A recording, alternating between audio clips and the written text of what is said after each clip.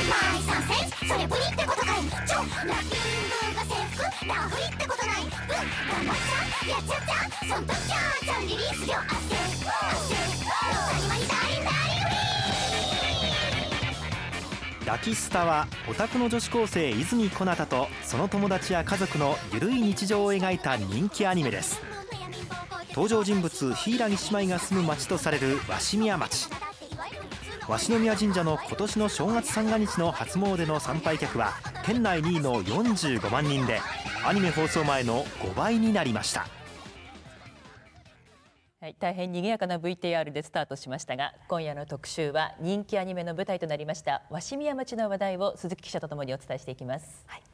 鷲宮町は今年3月23日に久喜市勝負町栗橋町と合併し久喜市として新たなスタートを切ります、はい、そこで合併でなくなる町の名前を多くの人の記憶に残そうと取り組んでいるさまざまな人々を取材しました。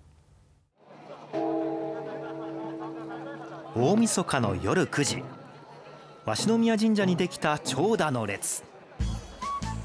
この日鷲宮町役場が鷲宮神社に住むラキスタの登場人物柊一家の特別住民票を発行しました。住民票は1枚300円。3万枚の限定発売です。住民票には鷲宮町の伝統行事恥祭のみこしを担ぐ柊姉妹と仲間たちがデザインされました。鷲宮町最後の発行となる特別住民票は飛ぶように売れ正月三が日で1万2000枚を販売したということです。特別住民票の発行はおととし4月に続き2回目です。前回は1万枚を売り切るのに4ヶ月ほどかかりました。それだけに今回の売れ行きからはラキスタの人気がさらに高まっていることが伺えます。これといってあの観光の名所というのがあのあまりないもんですからあのラキスタのおかげで町おこしにつながったと思います。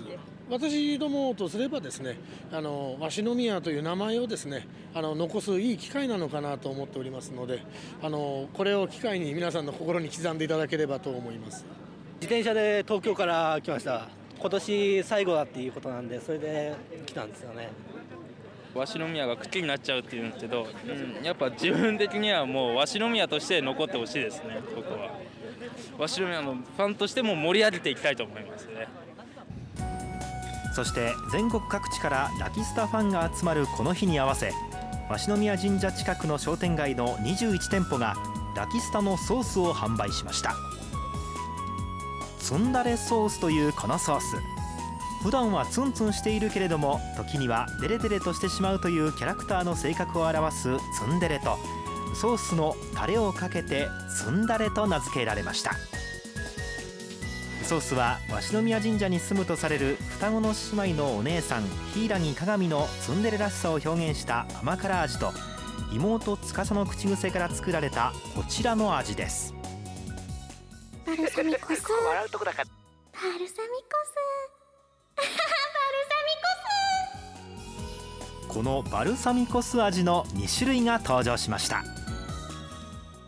お店の人もそうですしあのファンの人にもなるべく試食をしてもらって味が決まるまでに半年、はい、かかってます。私個人的にはもう満足のいく味になってます。並んでるお店で4 5 0人並んでましたんで、えー、予想以上に、えー、好評かなというところですね。まあ寂しいですけどね。あの神社も鷲宮神社として残りますし大事にしていきたいなと思いますね大晦日にもかかわらずそれぞれの店にはソースの発売開始を待つ行列ができました。お待たせです。お気に入りのキャラクターのソースを次々と買い求めていくファンたち。2種類合わせて7000本用意されたツンダレソースは正月三が日でおよそ6000本が売れたということです。滋賀県です。このために来ました愛知県は治療師からやってきました。とりあえずネットで誰か使ってるレシピがあったらそれを参考にさせていただいてそれで使ってみたいですね。たっぷり変わりました？まあお祭りになるとちょっと、うん、合併してもできればここだけはあの鷲宮っていう形で残してほしいっていうのは不安の願いですね。売れ気は上々ですね。はいおかげさまで。こういうふうにみんなね若い子がこう憤りしてくれるから街がやっぱりねだいぶ違いますよね賑やかになるもんね。来年3月に、あの鷲宮町っていう名前がなくなるじゃないですか。はいはいはいはいはい。まあこれはもうみんな関連したことの決断だろうから。やっぱりほらみんな大きくなるからやっぱりそれなりに今後のね子供のためにもいいんじゃないかなと思ってね。そして今月17日からは町内の6つの飲食店でツンダレソースを使ったメニューが登場しました。その一つとんかつ店清川のメニューはツンダレスペシャルミックスソースの若鶏イカフライ定食。サクサクのフライを2種類のソースと自家製ソースを混ぜ合わせ酸味を効かせたオリジナルソースでいただきます。甘さと酸っぱさと本当にツンデレって感じで美味しかったです。こう完食っていう感じですけど。そうですね。これこれだったらもう一人前ぐらいいけるかな。名前なくなっちゃうっていうか変わっちゃうっていうかまあそうなっても人だとかそういうのは変わらないんで今後もあの通いたいと思ってます。一方寿司店慶州ではとんかつを出汁を加えたずんだれソースにつけ酢飯で巻いたボリュームたっぷりの巻き寿司が登場。節分を前に恵方巻きならぬ萌え方巻きと名付けられました。鷲宮神社の方角を向いて食べるといいことがあるとか。ラキスタファンはやっぱり合併しても鷲宮は鷲宮って呼びます。来続けます。一生来ます。はい。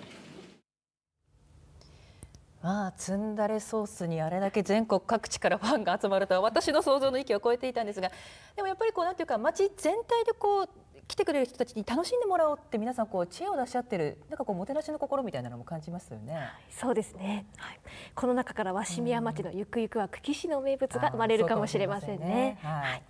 そして今鷲宮町では合併を前に町の魅力を映像に残したいと商工会が中心となって鷲宮物語というドラマを制作しています、はい、アニメファンが泣いて喜ぶような低予算でありながらもびっくりさせるような。え？映画撮るんですか？このドラマは町の PR 映画の制作を頼まれた若者5人が地元の人たちと触れ合いながら映画を作るという1時間のコメディードラマです国の補助金を受け鷲宮町商工会が中心となって制作しているもので撮影には AKB48 の増田由香さんをはじめラキスタファンや地元の町民さらに本田町長も参加しました。